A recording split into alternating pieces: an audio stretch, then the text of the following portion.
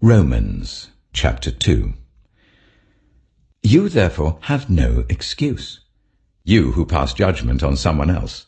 For at whatever point you judge another, you are condemning yourself, because you who pass judgment do the same things. Now we know that God's judgment against those who do such things is based on truth. So when you, a mere human being, pass judgment on them and yet do the same things, do you think you will escape God's judgment?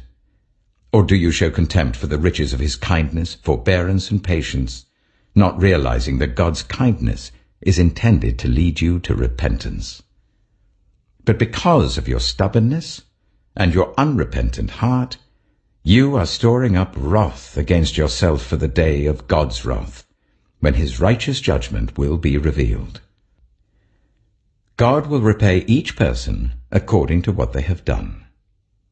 To those who by persistence in doing good seek glory, honor, and immortality, he will give eternal life.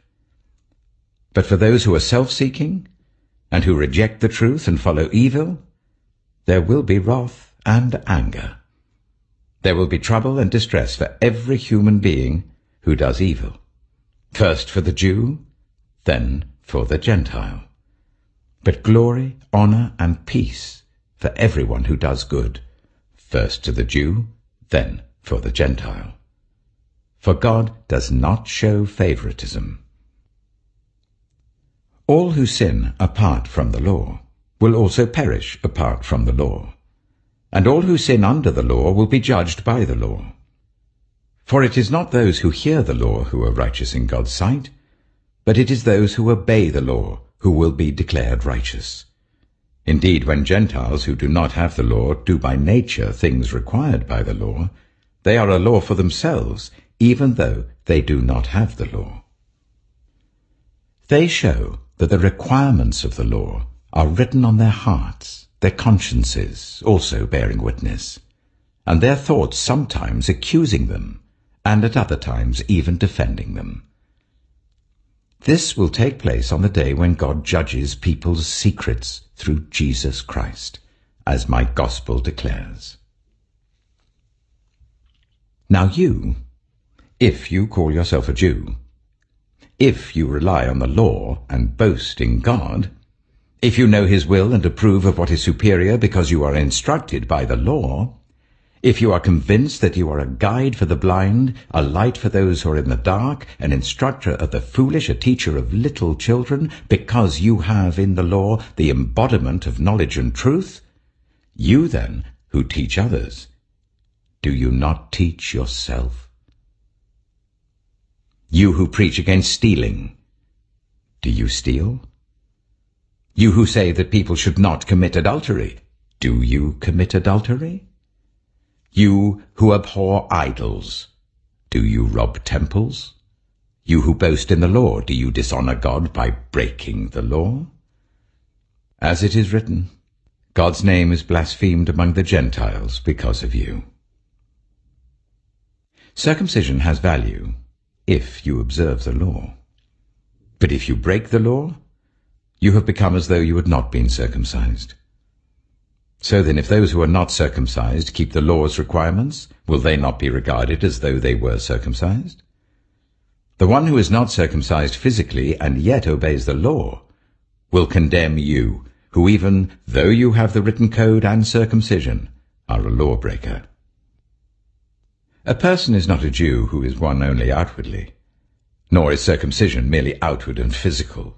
No, a person is a Jew who is one inwardly, and circumcision is circumcision of the heart, by the Spirit, not by the written code.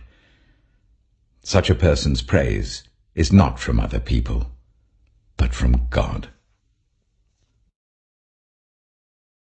Acts chapter 2 When the day of Pentecost came, they were all together in one place. Suddenly a sound like the blowing of a violent wind came from heaven and filled the whole house where they were sitting. They saw what seemed to be tongues of fire that separated and came to rest on each of them. All of them were filled with the Holy Spirit and began to speak in other tongues as the Spirit enabled them. Now there were staying in Jerusalem God-fearing Jews from every nation under heaven.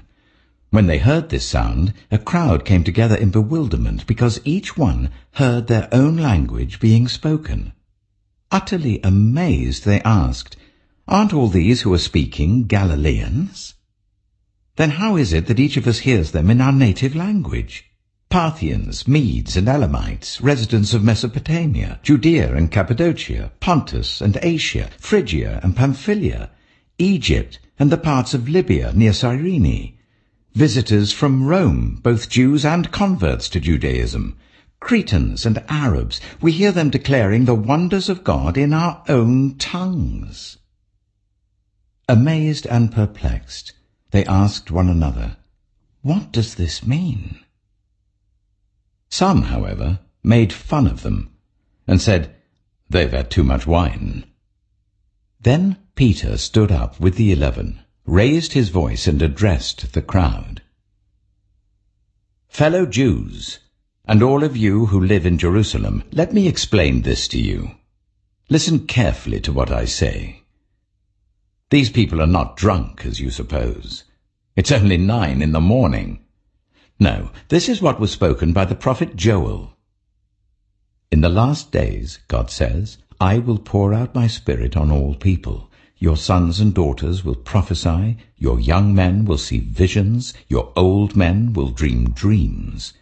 Even on my servants, both men and women, I will pour out my spirit in those days, and they will prophesy.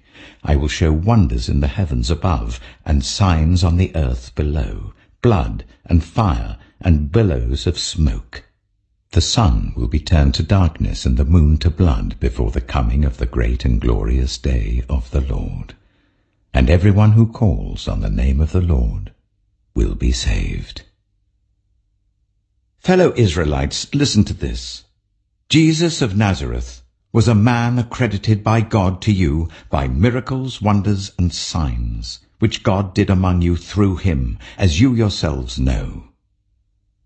This man was handed over to you by God's deliberate plan and foreknowledge. And you, with the help of wicked men, put him to death by nailing him to the cross. But God raised him from the dead, freeing him from the agony of death, because it was impossible for death to keep its hold on him. David said about him, I saw the Lord always before me. Because he is at my right hand, I will not be shaken. Therefore my heart is glad, and my tongue rejoices. My body also will rest in hope, because you will not abandon me to the realm of the dead. You will not let your Holy One see decay. You have made known to me the paths of life. You will fill me with joy in your presence. Fellow Israelites, I can tell you confidently that the patriarch David died and was buried, and his tomb is here to this day. But he was a prophet, and knew that God had promised him on oath that he would place one of his descendants on his throne. Seeing what was to come, he spoke of the resurrection of the Messiah, that he was not abandoned to the realm of the dead, nor did his body see decay. God has raised this Jesus to life, and we are all witnesses of it. Exalted to the right hand of God, he has received from the Father the promised Holy Spirit and has poured out what you now see and hear. For David did not ascend to heaven, and yet he said, The Lord said to my Lord, Sit at my right hand until I make your enemies a footstool for your feet. Therefore, let all Israel be assured of this. God has made this Jesus, whom you crucified, both Lord and Messiah. When the people heard this, they were cut to the heart and said to Peter and the other apostles, Brothers, what shall we do?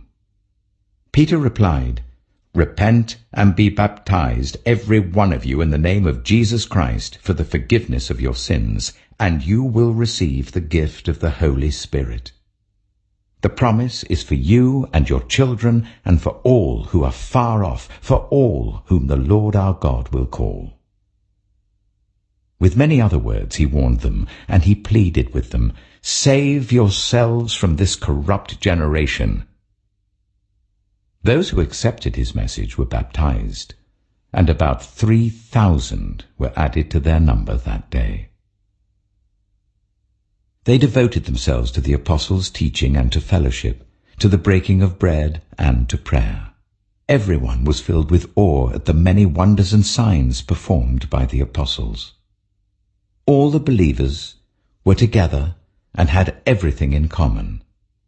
They sold property and possessions to give to anyone who had need. Every day they continued to meet together in the temple courts. They broke bread in their homes and ate together with glad and sincere hearts, praising God and enjoying the favor of all the people. And the Lord added to their number daily those who were being saved.